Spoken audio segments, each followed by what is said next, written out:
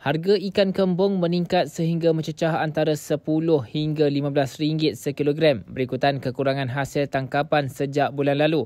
Tinjauan di pelantar ikan kampung seberang kota Kuala Kedah mendapati ikan kembung dijual pada harga RM8, RM10 hingga RM15 sekilogram bergantung kepada saiz. Nelayan Johari Saidin 60 tahun berkata hasil tangkapan ikan tidak menentu pada masa ini disebabkan keadaan ombak. Katanya sebelum ini dia mampu memperoleh hasil tangkapan yang banyak sehingga 600 atau 700 kg sehari. Namun sejak beberapa hari lalu hasil tangkapan tidak menentu sekitar 200 hingga 400 kg sehari.